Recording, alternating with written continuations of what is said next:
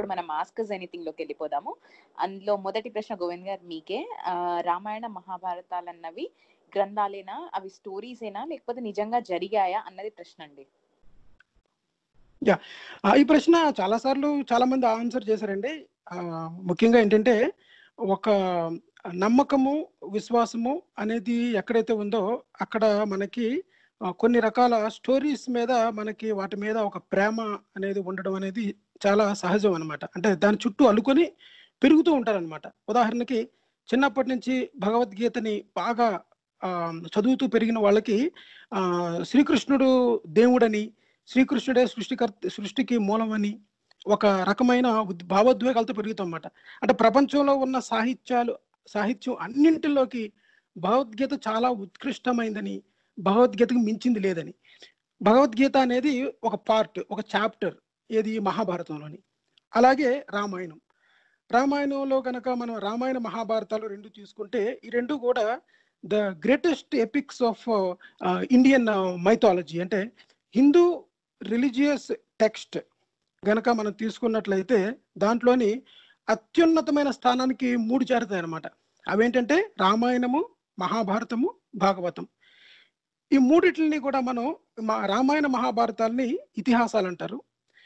ఇతిహాసాలు అంటే ఏంటంటే చాలా మంది చరిత్ర అని భ్రమపడతారు అనమాట ఇతిహాసాలు అంటే అవి మైథలాజికల్ స్టోరీ అంటే ఏన్షియంట్లో ఉన్న ఒకనొక కొన్ని జరిగిన ఈవెంట్స్ని కథల రూపంగా ఒక తరం నుంచి ఇంకో తరానికి అందించుకొచ్చింది. మన సైంటిఫిక్ ప్రూఫ్ అనేది చూపించాలి అంటే మనకి రిటర్న్ మెటీరియల్ దొరకాలన్నమాట. అంటే తాళపత్ర గ్రంథాల్లో కానీ లేకపోతే శిలాశాసనాల్లో కానీ లేకపోతే పుస్తక రూపాల్లో కానీ అప్పుడు ఏ సాధనాలు ఉంటాయి లేకపోతే మనకి ఫ్యాబ్రిక్ మీద రాసినవి కానీ ఏదో విధంగా ఒక టాబ్లెట్స్ మీద రాసినవి కానీ దొరకాలన్నమాట అది కూడా ఏమి ఇండికేట్ చేస్తుంది అంటే ఎవరో ఈ స్టోరీని వాళ్ళు అప్పటికి దొరికిన కొన్ని సాధనాల ద్వారా తర్వాత తరానికి అందించడానికి రిటర్న్గా ఒక రూపంలో రాశారు అని తెలుస్తుంది తప్ప అది నిజంగా జరిగిందా లేదా అన్న వాస్తవాలు మనకు తెలియవు. నిజంగా జరిగిందా లేదా అని తెలియాలంటే మనకి ఆర్కియాలజికల్ ఎవిడెన్స్ ఎవిడెన్సెస్ దొరకాలన్నమాట. అంటే అందులో వర్ణించిన ఆ గుడులు కానీ గోపురాలు కానీ ఆభరణాలు కానీ సంబంధించినవి సమాధులు కానీ అవి దొరికినప్పుడు మనకి నిరూపణ అవుతుంది. ఇంక్లూడింగ్ డేట్స్తో సహా. ఏ డేట్ అయితే దాంట్లో మెన్షన్ చేశారో అదే డేట్ కూడా మనకి ఈ ఇప్పుడున్న మనకి కార్బన్ డేటింగ్ మెథడ్స్తో ద్వారా కానీ తర్వాత ఇంకో గ్రంథం ఇంకో గ్రంథంలో ని క్రాస్ రిఫరెన్స్ చేస్తూ రాసినవి దొరకాలన్నమాట. ఇటువంటివి ఏవి కూడా మీకు రామాయణానికి కానీ మహాభారతానికి కానీ రామాయణ మహాభారతాలు కొన్ని వేల సంవత్సరాల క్రితం జరిగినవి అని చెప్పబడుతున్న టైం లైన్కి ఏవి మ్యాచ్ అవ్వవు అనమాట ఎక్కడి వరకు మ్యాచ్ అవుతుంది అంటే సుమారు రామాయణం అనేది మనకి ఐదు వందల నుంచి వంద బీసీఈ మధ్యలో. అంటే క్రీస్తు పూర్వం అంటారు కదా బీసీఈ అంటే మనకి before common era before Christ before Christ అంటే మన ఇప్పుడు బిఫోర్ కామన్ ఎరా అంటారు. అయితే. ఈ మధ్య టైం ఫ్రేమ్లోని రాయబడింది అని. అంటే ఆ టైం ఫ్రేమ్లో రాయబడింది అని. అంటే అది సంస్కృతంలో రాయబడింది అనమాట దానికి ముఖ్యంగా మూలంగా మొట్టమొదట రాయబడిన రామాయణం వాల్మీకి రామాయణం అని. సో వాల్మీకి రామాయణం తర్వాత చాలా రామాయణాలు వచ్చాయని. ఎన్ని రకాల రామాయణాలు ఎన్ని రకాల పాత్రల్ని ట్వీట్ చేసి వర్ణించిన రామాయణం అనేది మూలమని తెలుస్తుంది అనమాట ఇంతకీ ప్రశ్న ఏంటంటే రామాయణం అనేది ఎప్పుడు రాయబడింది అన్నదానికంటే ముందు అది ఎప్పటి నుంచి కథల రూపంలో చెప్పబడింది అన్నదానికి ఆధారాలు లేవు. చాలామంది ఏమంటారంటే అవునండి కరెక్ట్గా ఫైవ్ హండ్రెడ్ బీసీలో రాయబడింది. కానీ రామాయణం నిజంగా చాలా క్రితం జరిగిందంటారు. సో ప్రతిదానికి దానికి సైంటిఫిక్ ఎవిడెన్స్ ఉండదన్నమాట.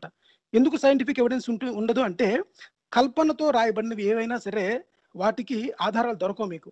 కల్పనని ఎలా చెప్పగలుగుతామంటే మనుషులు ఎగరడం కానీ మనుషులు ఒక రూపంలో నుంచి ఇంకో రూపంలోకి మారడం కానీ తర్వాత ఏమో ఆ, రాళ్ళపై నీళ్ళపై రాళ్ళు తేలడం కానీ తర్వాత ఏమో మనిషి ఒక ఉన్న ఆకారం దగ్గర నుంచి పెద్ద ఆకారంలోకి మారిపోవడం కానీ తర్వాత ఏమో ఎగిరే విమానాలు ఉండడం కానీ ఇవి ఉండే అవకాశం లేదనమాట సో ఇవన్నీ ఉండవు గనక ఇది చరిత్ర కాదు. ఇది ఒక కల్పన అనమాట అదే విధంగా మహాభారతం చూసుకుంటే మనకి ఈ ఈ న్యాచ్ నేచురల్ నేచురల్ ఫిలాసఫీ అంటారు.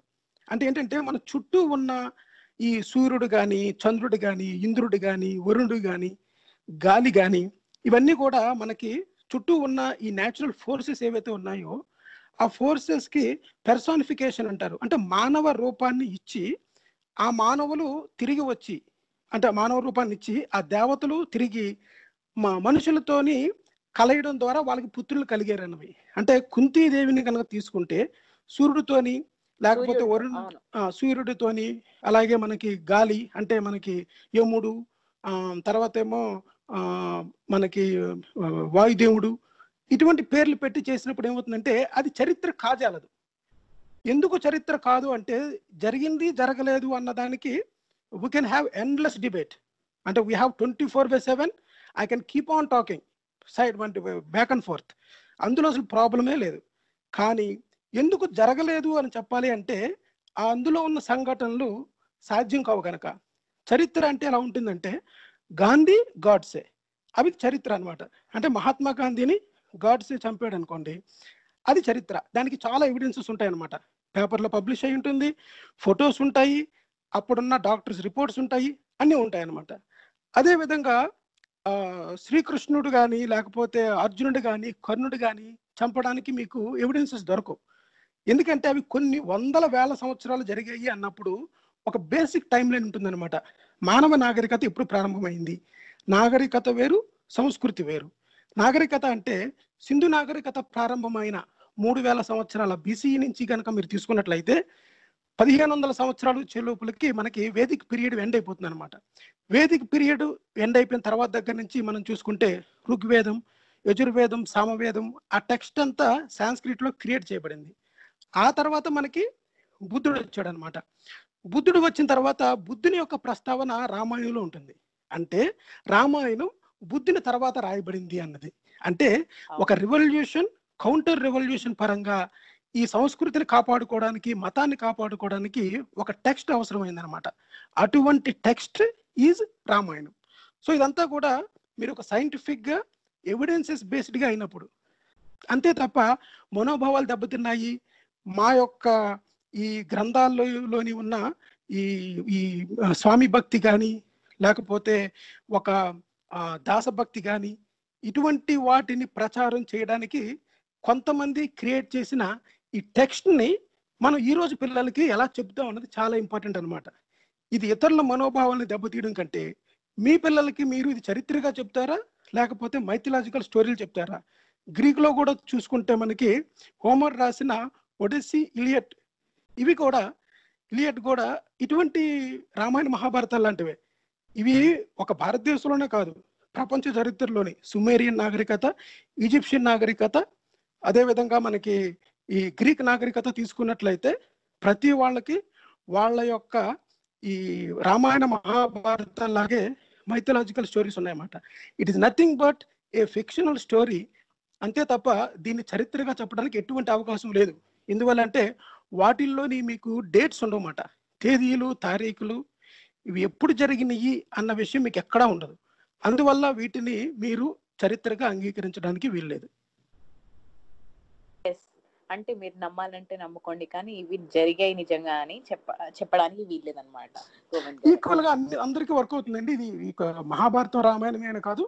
ఆ ఖురాన్కి అప్లై అవుతుంది బైబిల్కి అప్లై అవుతుంది అందరికి అప్లై అవుతుంది. Everyone subjected to the criticism అంతే తప్ప- స్టోరీ అయినా. యాడమ్ అండ్ ఈ స్టోరీ కూడా ఫిక్షనల్ స్టోరీ ఈ Yes. స్టోరీలు అన్ని కూడా ప్రతిదీ అంతే తప్ప రామాయణ మహాభారతాన్ని విమర్శించడమే కాదు. The criticism is equal to every religion starting from Quran Bible and Mahabharatam and Ramayanam yes yes yes and ya thank you so much Govind garu Sharath garu మీకు